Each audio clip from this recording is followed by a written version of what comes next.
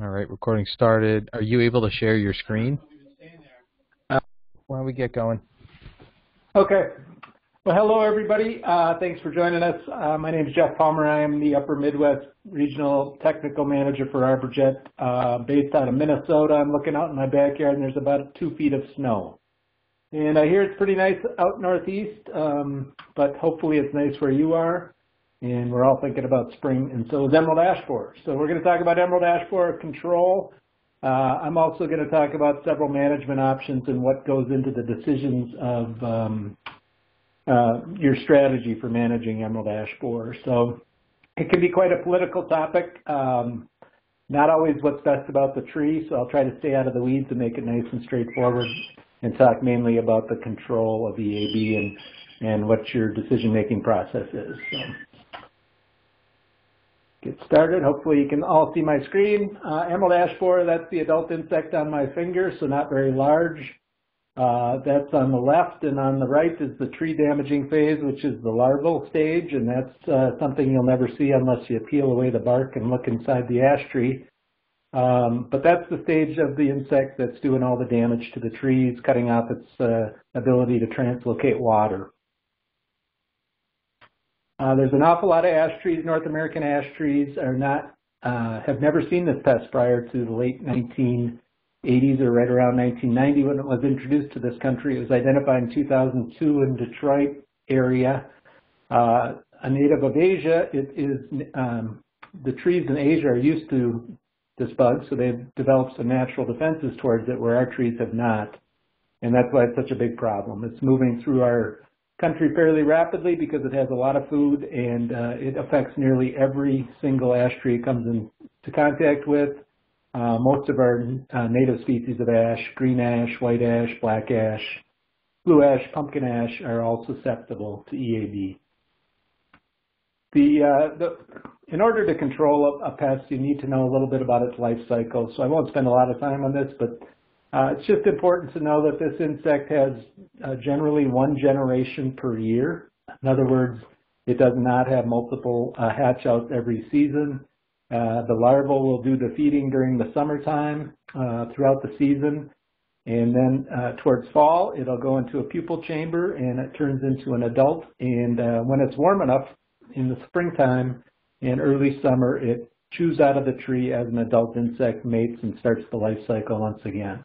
It's important to know this because many of the insects that we do have to deal with have multiple generations uh, every season. Something like an aphid or a whitefly or a scale might have multiple generations, and that makes them a little harder to control.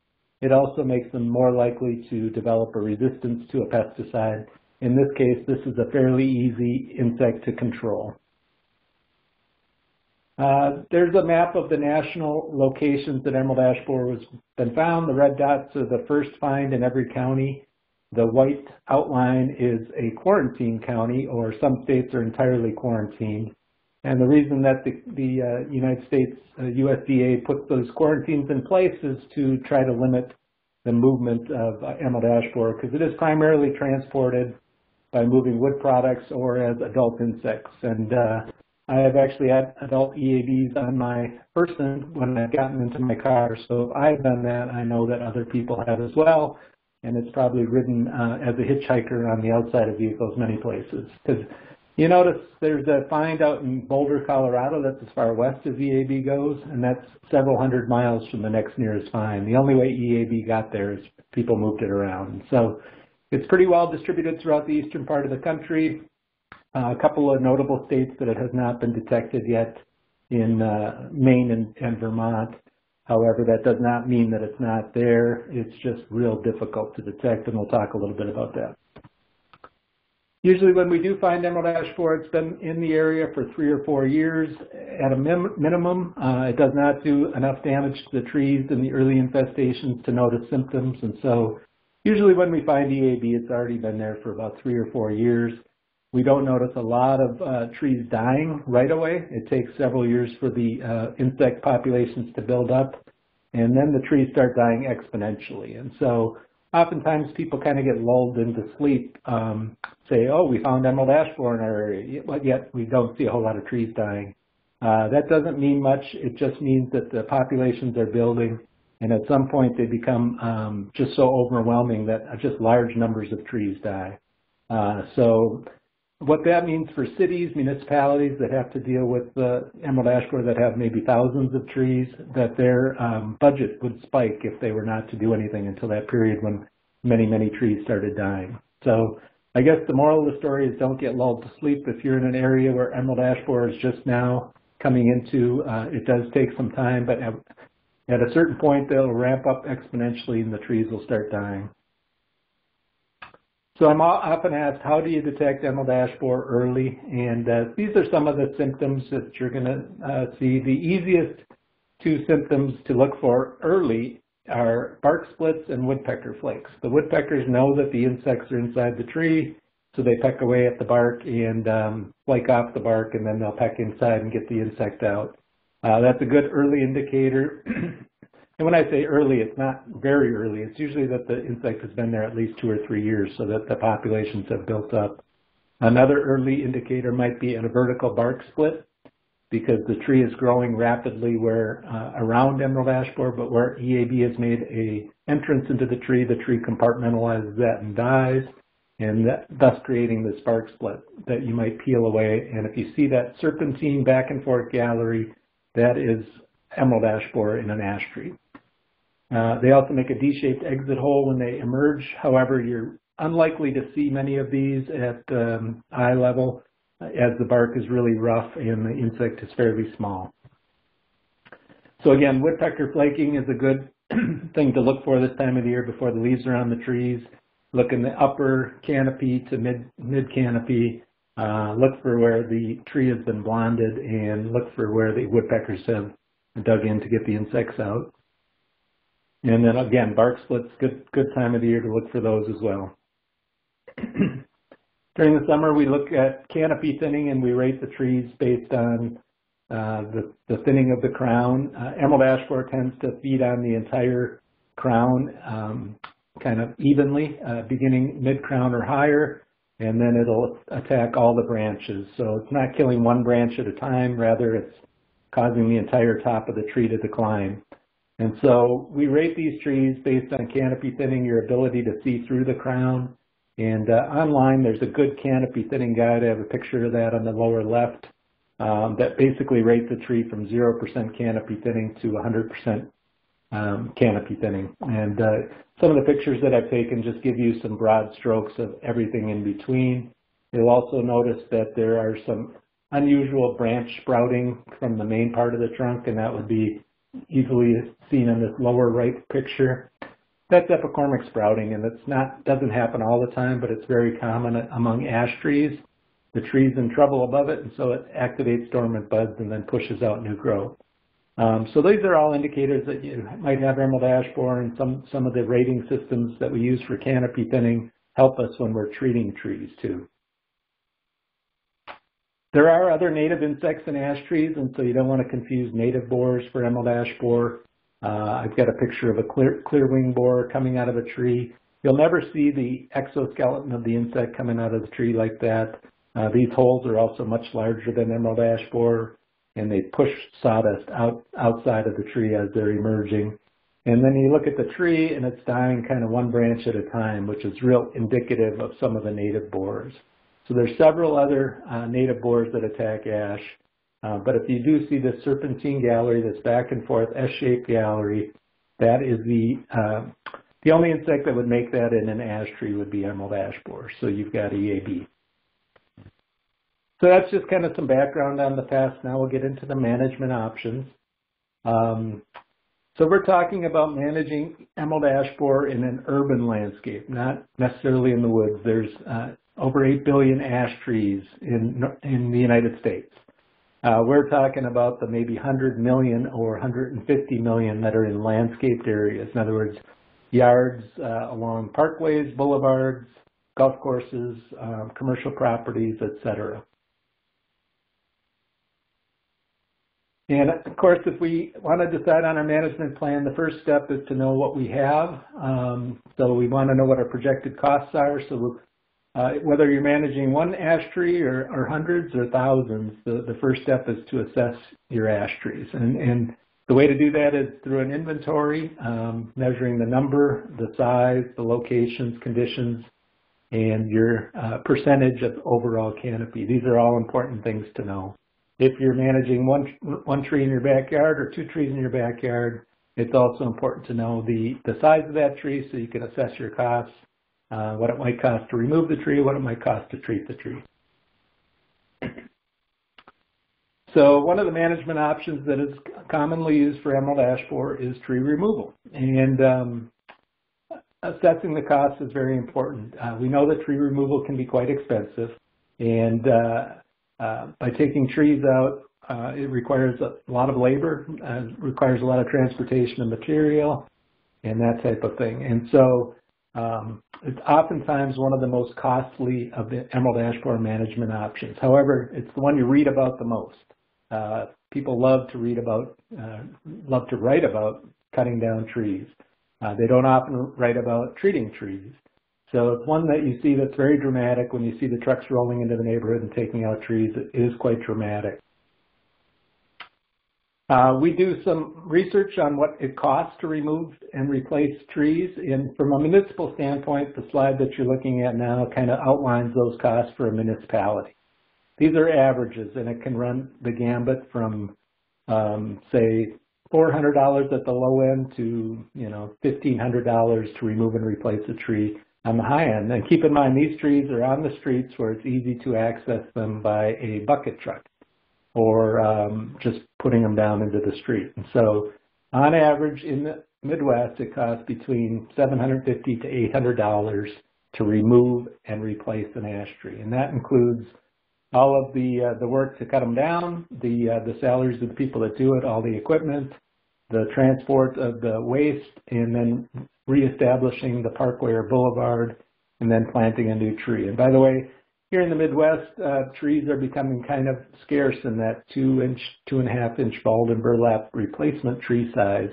Um, they are becoming a little bit scarce due to the recession. Uh, some of the nurseries cut back in production, and now the need for trees it does drive the cost up. And so uh, these costs are actually increasing right now for removal and replacement.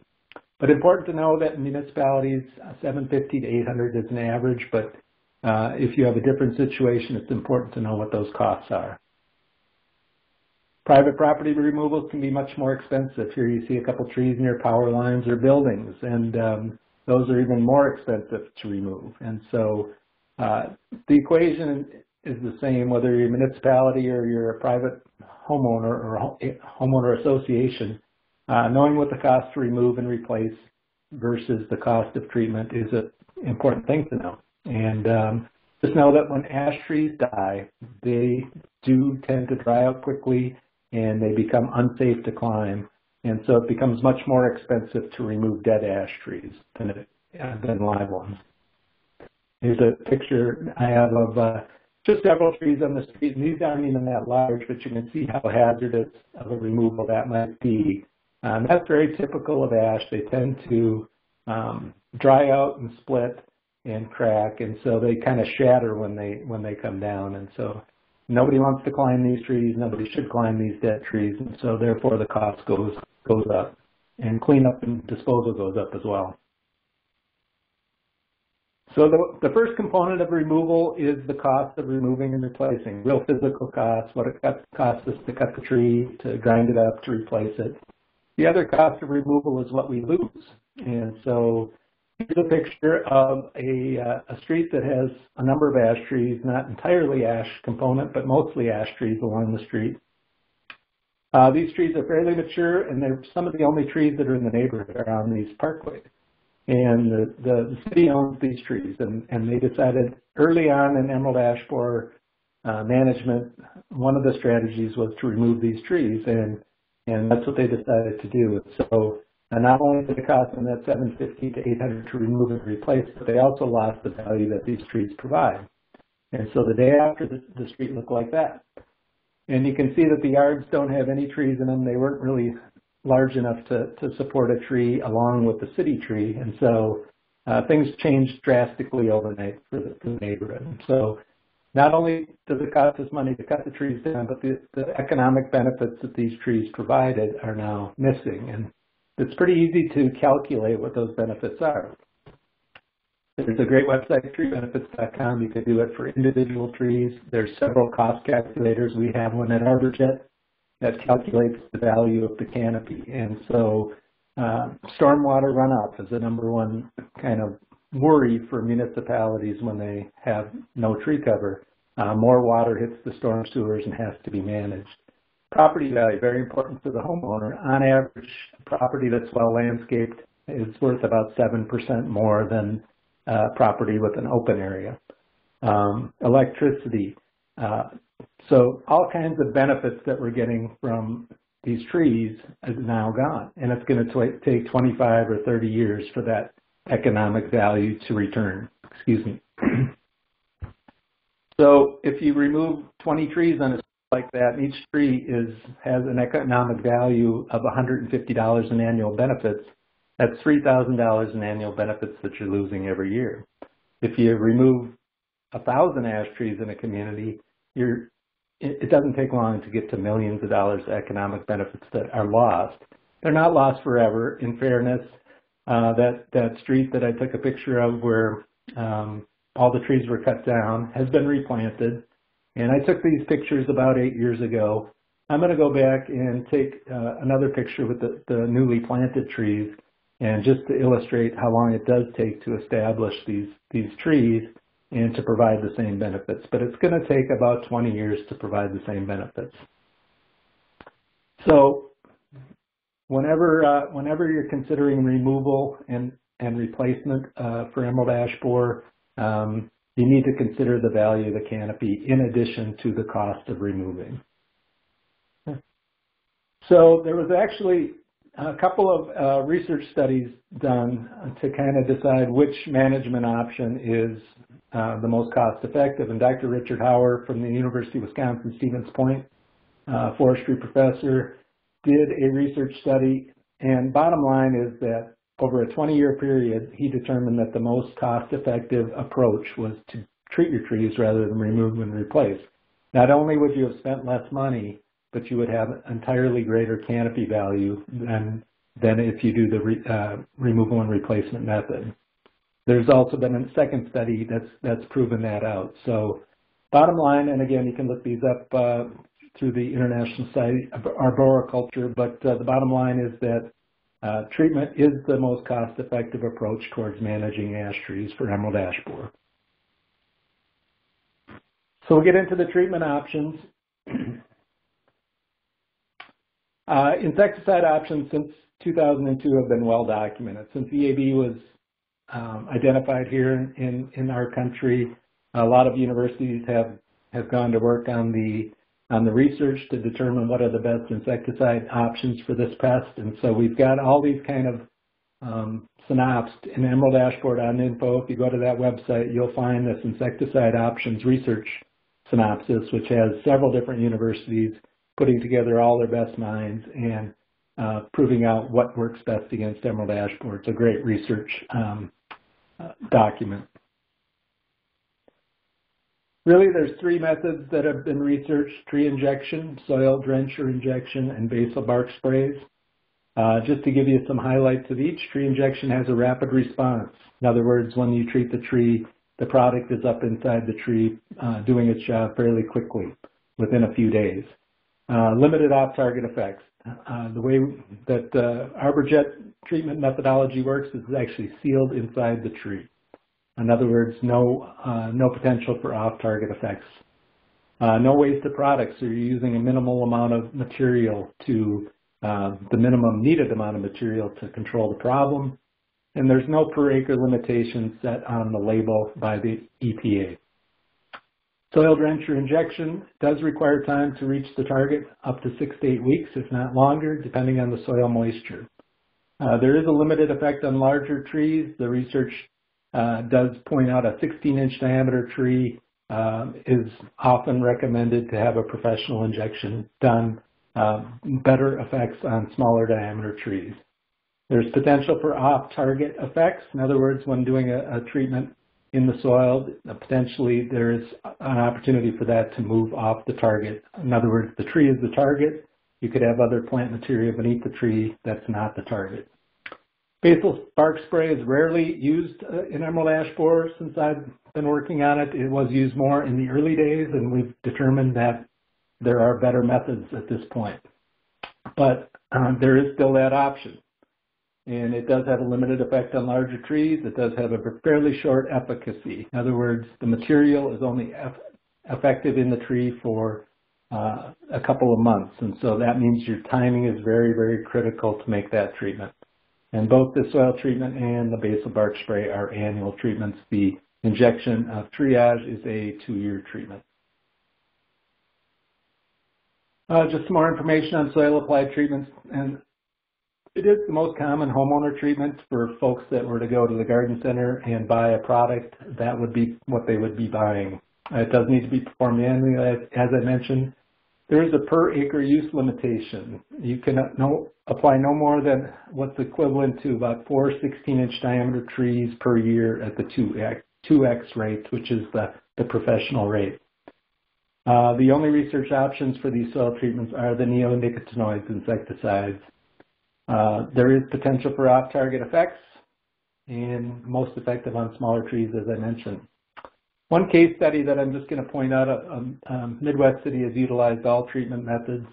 Uh, I'm going to talk about triage trunk injection next, and they have had 0% failure from that, but they have lost trees that they have done with the soil-applied imidacloprid, and they've discontinued the dinotefuran bark spray treatments.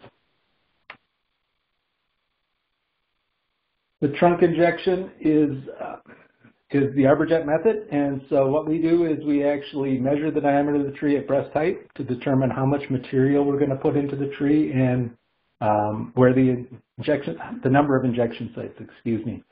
And once we know the diameter, then we determine how many injection sites we're going to put down at the base of the tree near the soil line. And so we'll drill a hole and then we actually put in a small uh, plug. Many of you are familiar with the methodology. Um, and then once we've got our injection sites placed into the tree, then we're going to come back and put the material into the tree, uh, one of several different ways through uh, injection equipment that I'll talk about. So again, we're placing these injection sites near the base of the tree at the soil line or just above, and we're focusing on areas that have good water uptake. We're inserting our arbor plugs into the root flares or areas of taper.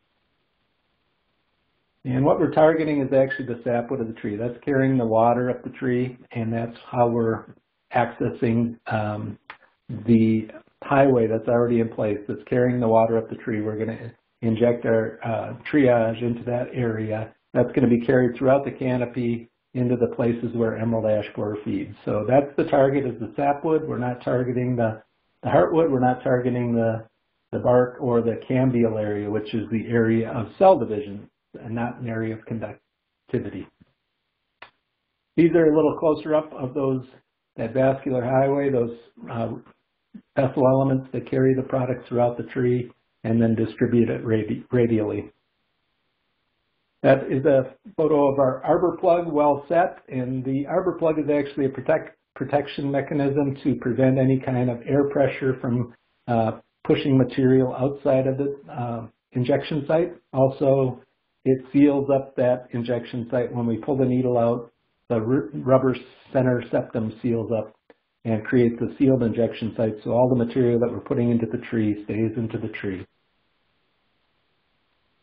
We do have a plug-less injection method. Uh, we've always had one, and it is uh, an option if it's a very quick uptake day. In other words, if the tree is translocating very quickly, uh, but you need to utilize a low pressure when you're injecting.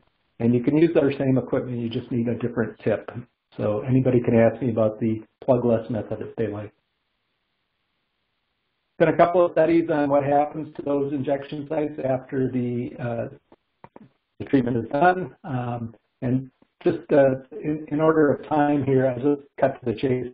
In both uh, studies, it, it, indicates that the trees respond very well to the injections, that ash trees are very good compartmentalizers. In fact, the most recent study stated that 96% of all the injection sites had no decay or any kind of cracking around them whatsoever. So uh, we know this intuitively. I mean, folks have been uh, drilling holes in sugar maples for 100 years, accessing the, the sap for, for maple syrup.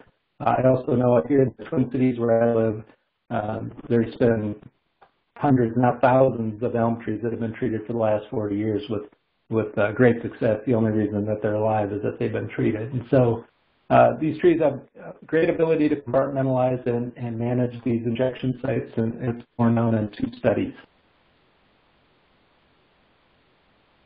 That's what you're looking for at uh, after a couple of years at that injection site. I don't know if you can see it in the center. I put a circle around it, but that's the sealed injection site after a couple of years the tree grows right around and over that and puts new wood right over the top of it. So when we come back in a couple of years, we're going to actually move over and up and we're going to put new injection sites uh, into that tree uh, and start the process once again.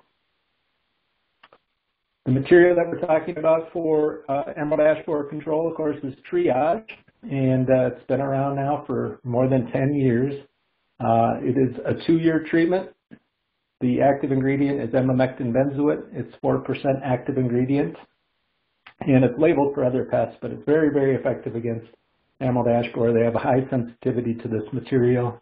It's in the avermectin class of insecticides, non-neonicotinoid, and uh, again, it is only for trunk injection.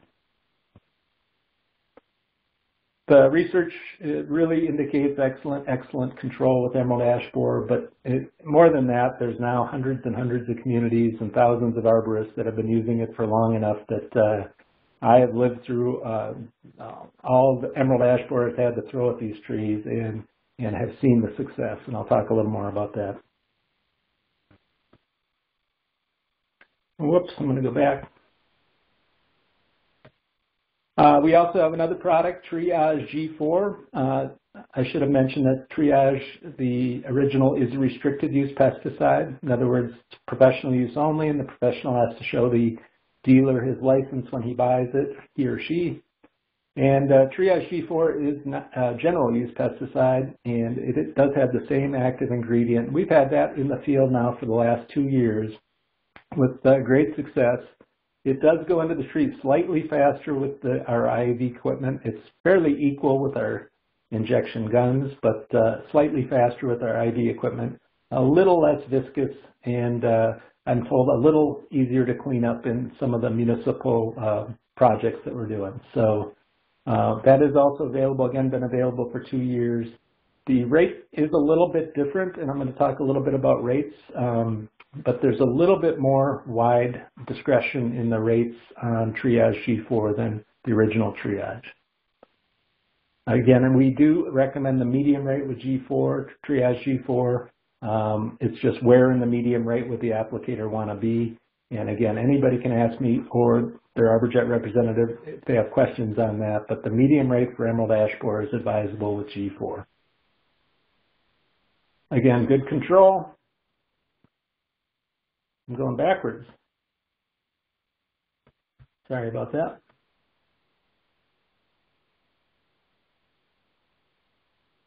Okay, so we've researched the rates from very low rates to up to 10 milliliters or more per diameter inch. And that's why we know, need to know the diameter of the tree. Uh, we're basing all of our rate recommendations off the diameter of breast height. Um, generally speaking, the two-year confidence uh, at medium rate for most trees with triage or triage G4. Um, some of the researchers do indicate that you are going to have longer residual with higher rates, and there's several researchers that have talked about this. In other words, by putting in a higher rate per diameter inch, you might get longer residual. However, the product is rated for two years, labeled for two years protection at the medium rate. We do have a supplemental guideline there that you can see that um, uh, kind of helps the applicator decide on exactly how many milliliters per, per diameter inch. But uh, generally speaking, we do uh, recommend a lower uh, rate on small diameter trees because the canopy grows exponentially as the diameter grows and slightly higher um, rates per diameter inch as the trees grow in, in diameter. But uh, a lot of work went into this, and we've learned a lot on how how much material is, needs to be into the tree to control EAB. Just to give you an idea on dose, um, uh, from an environmental standpoint, we're not talking about a lot of volume going into the trees. So on a 17-inch ash tree, you're going to need 75 milliliters to give you two years control of EAB, excellent control, I might add. And uh, so that's two and a half ounces. And if you do the math, that's about three milliliters, which is not even a teaspoon. And that's going to provide you two years of control. And so when you when you're doing that math, you're determining that 4% of the active ingredient is, is well, 4% of the total volume is active ingredient. And so that equates down to three milliliters, which is not a lot of product. I've been in the business a long time, treated a lot of trees for a lot of different things, and uh, I'm amazed every day that uh, we're putting so little material inside the tree and getting the complete control that we are. Just to give you a little bit of uh, some some success stories, uh, this is the city of Milwaukee. The city of Milwaukee treats roughly 28,000 ash trees on their parkways. You can see those trees um, right here. There's one there, and then there's another one across the street. Then in the backyard, they don't treat, of course, because they don't own those trees. Some residents decide to treat and some didn't. And uh, you can see some untreated trees in the backyard. And there's one there, and there's one over here in the side yard. So they started treating in 2009, and they had emerald ash borer had been detected in Milwaukee County, but not within the city city limits. They found it in 2012-13 over the winter, and uh, this is that summer. And we know that emerald ash borer takes about three or four years to build up in population to actually kill these mature trees. So that tells me that EAB was actually in this neighborhood when they first came and injected these two trees in 2009 but it had just started getting into the getting into the area. Well, these two trees are perfect along with their other 28,000, yet the, the backyard trees are are dead and dying in this picture, and they've had a serious infestation since. So very, very successful there. Um, they've determined, uh, they, they track their records pretty carefully, and so with the 20, nearly 28,000 trees that they treat now, they they have never lost a single ash tree to emerald ash borer out of the 28,000 that they treat. So I can talk about the research all day, but I've got a lot of different um, municipalities and folks treating in heavily infested areas that are having similar results to these. And so to me, this is the real world actual um, what's going on out there. They've also determined that their entire cost, and they do it themselves, so the city staff does all the treatment. We do support them, and as do our distributors, as far as training, maintaining their equipment, but they do the treatments and they um, they track all their costs and they've determined that it costs them about $70 per treatment every time that they go and treat these trees. They're treating them every two years, so that means it keeps it costs them about $35 a year to keep those trees alive. So when you go back and look, um, so they spent when I took this picture, they had spent about $140 in treating those two trees over the last previous four years. They've since treated them two more times. So they now, now have spent $280 on those trees. It would have cost them 750 to remove each one and replace them. Um, and so they spent a third of what they would have spent already uh, in this particular neighborhood. And all 36,000 of the ash trees that they have in the city are under risk would be gone within the next few years. And so they're very, very happy with their decision. It's been very, very successful, their program. And that's just one of many, uh, many, many, many uh, communities that are seeing success through treatment.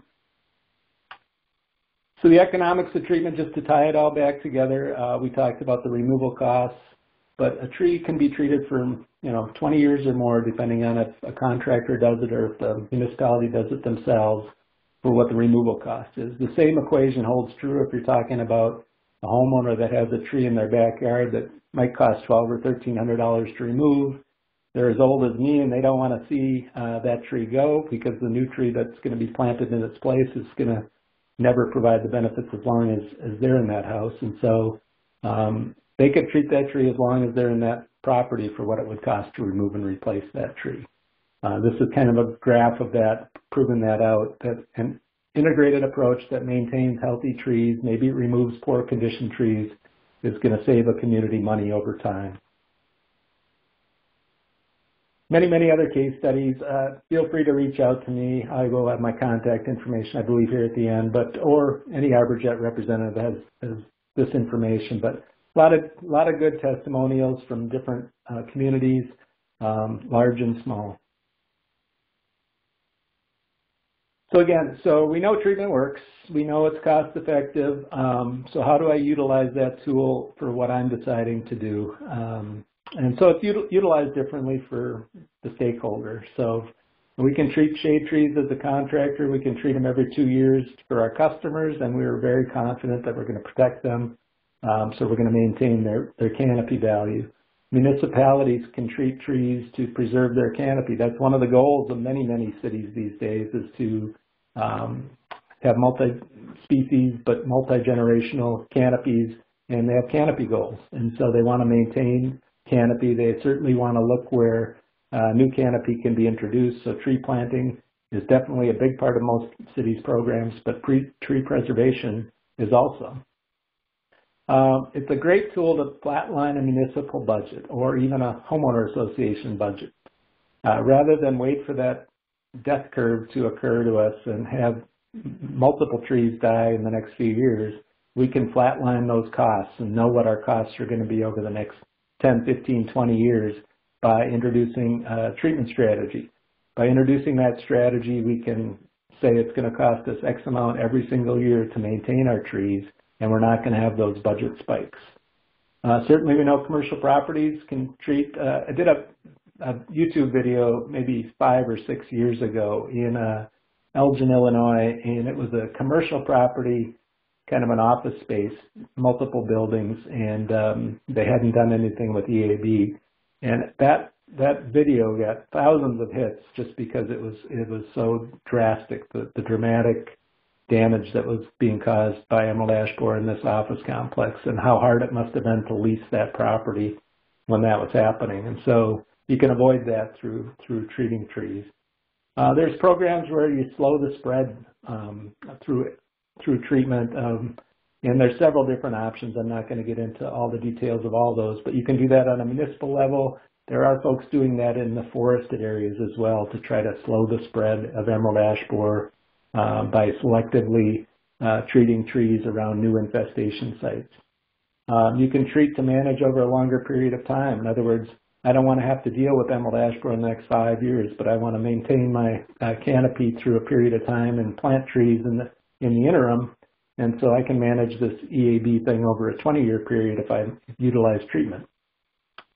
And you can treat to prolong the life of infrastructure, uh, stormwater sewers, things like that. So uh, by and large, most communities are in, incorporating an integrated management approach now, which is a combination of strategies to fulfill their goals. And uh, knowing that treatment works, knowing that treatment is cost effective has helped them to um, put together a comprehensive strategy through this really huge problem of emerald ash borer, the, the most uh, troublesome forest pest in, in America's history.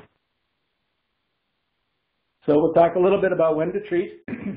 um, some of you folks are in the emerald ash borer area. Some of you are, might be just kind of on the perimeter and uh, something that's going on in, in, places like South Dakota now, and and I'm sure in Maine. Um, you know, how far away should we be from emerald ash borer when we start to treat? And so, uh, common question. The picture on the right there is a tree that I went and looked at uh, in 2016 in Greenwood, Nebraska. And Greenwood is very near Lincoln, Nebraska. Omaha, Omaha announced that they had emerald ash borer, I believe it was like June of 2016. And then a few couple weeks later, they announced this find that was 40 or 50 miles away in Greenwood. So I, like a good arborist, raced over there to take a look at this tree. And um, you can see that that tree is very, very infested with EAB. Keep in mind, this is the very first find of EAB in this area. And it had been there at least four or five years. The tree was nearly dead. Um, and so that's something to consider. Emerald ash borer is very, very difficult to detect. Um, so when it is detected, it has usually been there for several years. And preventative treatment is always preferred to a curative treatment. So it's, it's too late for that tree. Um, so we know that. we can treat a tree when it has insects in it, but there's a certain point when the vascular system is so disrupted that we can't treat a tree. So um, again, the current recommendation is, is within 15 miles, but it's hard to detect this insect, and when we do find it, it usually is uh, quite severely infested. So just give you some background on treating infested trees if you are in an area that has EAB now. Um, again, 50% canopy thinning or better is kind of our rule of thumb. Um, and these trees, I took a picture of this just because it was kind of a broad stroke of different canopy thicknesses. And the, the tree in the forefront has pretty severe canopy thinning. It's not that I don't think you could save the tree, it's just that the vascular system is so disrupted that you're unlikely to save all the branches, and so you could have some dieback. Uh, whereas the tree behind it has much thicker leaves, probably not quite as compromised, so you, with a higher likelihood, would be able to get the material throughout the tree and protect that tree. So 40, 50% canopy thinning is kind of our rule of thumb. However, I know that people, being people in human nature, they do tend to wait until the last second and um, then call somebody about their tree. And so there's been a lot of people that have been asked to treat trees that are in pretty bad shape. Um, but just know that about 50% canopy thinning is, is kind of our rule of thumb where you have some confidence in protecting it. By the way, just a side note, the trees in the background over here are uh, white ash species, so they're an autumn purple ash. These are green ash species, and that's one thing that we do notice if you have green ash and white ash in your urban forest that uh, they tend to affect the green ash a little bit earlier than the white ash. But then the, they'll polish off the white ash once all the green ash is gone. Um, so here's a picture of, of treating trees that are severely infested, what you might experience a couple years later. If the tree has been so infested with EAB, some of the branches may be so girdled that the material doesn't move through the entire canopy. And so this is in Darien, Illinois. They began treating after EAB was really established. And some of the trees were had had quite a bit of damage already prior to them treating, but they figured they had nothing to lose. And so they did save the trees. However, there was some pruning required. But always best to treat as a preventative. You can treat uh, as a curative. However, there is some uh, some potential that some of those branches have been so compromised you're not going to get the material in there. Just good to know. Uh, a better success here, this is the first tree in Chicago that uh, EAB was discovered. Again, 40, 50% canopy thinning. You can see the unusual sprouts. Uh, this is on 29th and State Street. They treated that tree and then did not treat the trees next to it just to see two years later. That's what the treated tree looked like on the left. So you could see that it's recovering. The leaves are getting thicker. Uh, the untreated trees look like that. So two more years is all it took for EAB to polish them off. So great success story on that one. And that tree is still there. I go visit it just about every year when we retrain the City of Chicago uh, forestry employees. By the way, they treat roughly 60,000 ash trees in Chicago. And um, that original tree is still standing and actually looks looks great now that they've pruned out the, the epicormic branching and that. And um, very, very good investment for the city. Uh, so you get real dependable results, especially as a preventative. Here's, I do get asked this all the time, and the reason I put these pictures in there is that what happens if the neighbor doesn't treat or if, if they, you know, some people treat and other people don't. Uh, we're killing the insect inside the trees that are treated and the trees that are untreated. On the left here, you're seeing the untreated tree. Uh, it's declining because the insects are still feeding on that tree, whereas they're not feeding on the treated tree. So you're going to have success whether the neighbor treats or not. Uh, here's the tree from street level. And um, that tree had been treated one time three years prior. Um, I think that's all I have. And I, I don't know, Zach, are we open for questions or? We are. So there is a little chat box, kind of looks like a comic book talk bubble, where if you have a question, feel free to type it in over here. And uh, if anybody Jeff and I will, and Jeff and I can get you in. answered. Uh, I went through things fairly quick, quickly. I just wanted to make sure that everybody had kind of a broad stroke. I stayed away from the uh, the politics um, of those kinds of things. Uh, emerald ash borer oftentimes we we run into that. We run into maybe not what what's best for uh, the tree, but what's best for um, somebody's uh, special interest. And so I, I, try to stay away from that. Um, but that's a com it's a common conversation in EAB. Any questions? All right. Well, thank you very much for attending. I appreciate it. Again, if you have any questions about Emerald Ash Borer or um, management options, certainly reach out to your regional technical manager, Zach, or myself, and we'd be happy to help you.